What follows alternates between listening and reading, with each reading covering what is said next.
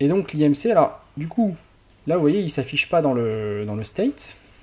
Donc ce qu'on va faire, c'est qu'on va l'afficher, on va le... Vous vous souvenez de ce truc-là, là, Set, state? Et eh bien en fait, on va l'afficher, enfin, on va le mettre dedans.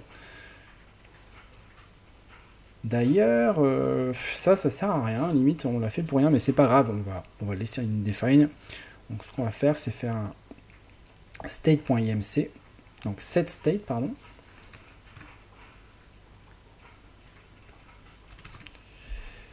Set state. Oui, d'ailleurs, on va, ouais, on, va, carrément faire plus simple. On n'a pas besoin de ça, en fait.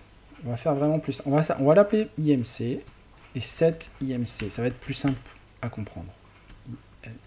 Set IMC. Et là, on va marquer tout simplement une defined. Donc au début, l'IMC, il vaut une define. Et après, si on fait set IMC,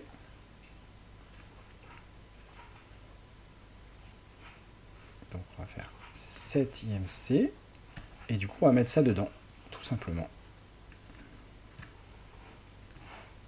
Ça, là, on va le faire. On va. Voilà, ça, on n'a plus besoin. Même ça, on n'a plus besoin. Ni ça. Et là, je vais sauvegarder, ça va mettre en forme tout seul. Regardez, hop, voilà. Et donc, du coup, maintenant, on a l'IMC. Alors, il y a un problème. State is not defined. Ah oui, parce qu'en fait, tout en bas, on avait marqué... Euh, où est-ce que j'ai mis ça? Oui. State IMC. Donc là, on n'a plus de state.imc, c'est IMC tout court. Là, je fais CTRL D pour sélectionner les deux, supprimer, voilà, IMC tout court. Je regarde, c'est bon, ça fonctionne. On recommence, donc on avait dit 1m70, euh, pardon, 70 kg, 1m70. Voilà, et là vous avez vu, on a automatiquement l'IMC qui se met, alors il y a peut-être un problème quand même. Ah oui, c'est parce que j'ai pas marqué le point, 1m70. Voilà, donc si, vous voyez, si, jamais on change la taille, par exemple je mets 80, l'IMC change automatiquement parce que c'est un on-change. Si je change le... Si je change le, pardon, là c'était la taille, le poids, et si je change la taille, si je mets 1m80, l'IMC change également automatiquement. Donc c'est super, c'est ce qu'on voulait. Donc après, ce qu'on va faire aussi, c'est que, vous voyez, euh, en général, on met un chiffre après la virgule, ou on va en mettre deux pour être vraiment précis, mais voilà, on va mettre deux chiffres après la virgule. Donc pareil, là, si vous ne savez pas comment faire, ben, vous faites JS, euh, crois que c'était tout fixe ou un truc comme ça. Deux chiffres après virgule. Il y a déjà quelqu'un qui a tapé ça. Arrondir deux chiffres. Hop, vous tapez ça et vous trouvez tout de suite.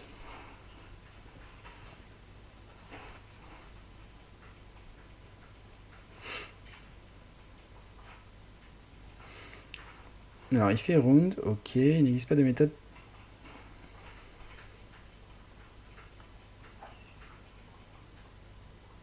100 divisé par 100, ouais, c'est pas mal. Sinon, tu peux utiliser la classe number et faire tout fixed. Donc oui. Je pense que ça, c'est mieux. On va utiliser ça, nous. Donc au moment où nous... Désolé avec le bruit des enfants. J'essaierai d'éviter les vidéos quand il y a les enfants, mais là, j'avais commencé euh, quand ils faisaient du dessin, et du coup, comme ils ont fini le dessin, bon, je les autorise à jouer à côté. Alors, donc ce truc-là, voilà, donc tout ça, en fait, on va le fixer. Donc on va faire entre parenthèses de tout ce truc-là. Et on va mettre tout fixed de on va regarder si ça fonctionne. Ça, on va le virer. 70 kg 1.70 ça fonctionne on a bien ça. Et si on met 1m80 eh bien on a toujours deux chiffres après la virgule. Donc c'est ce qu'on voulait. Donc c'est parfait. C'est parfait. Alors juste euh, qu'est-ce que je voulais vous dire par rapport à ça? Oui vous avez vu aussi euh, les, les, les parenthèses là? Voyez, là, j'ai des parenthèses jaunes. Ensuite, là, elles sont roses. Là, elles sont bleues. Donc c'est vachement pratique de, coloriser les parenthèses. Et pour ça, on a une extension qui est bien sympa, qui s'appelle, euh, alors je sais plus comment elle s'appelle, Bracket Per Colorizer. je vous conseille aussi cette extension, elle est vraiment pratique sur VS Code pour y voir plus clair. sachant que ça, on pourrait, euh, c'est un peu limite au niveau de la longueur de la, c'est un peu limite, mais ça va. Enfin, on pourrait le simplifier en faisant, euh, en décomposant en plusieurs lignes cette instruction, cette instruction là. Ouais, donc du coup, il nous reste aussi un truc à faire, c'est l'interprétation. Ce qu'on voudrait ici, c'est l'interprétation. Donc pour ça, on va faire IMC on va taper IMC interprétation. IMC interprétation. D'accord. Est-ce que j'ai... Non, j'ai Internet. qu'est-ce qui se passe? Je sais pas qu'est-ce qui se passe, il y a un problème. Il y a un problème d'internet, on dirait. Alors, attendez, je vais mettre pause. Ça remarche? Ah, ça remarche. Attendez, parce qu'en plus, il y a mes enfants, ils ont des problèmes aussi, du coup. C'est bon, ça marche, Marie? Ok. Alors, interprétation. Voilà.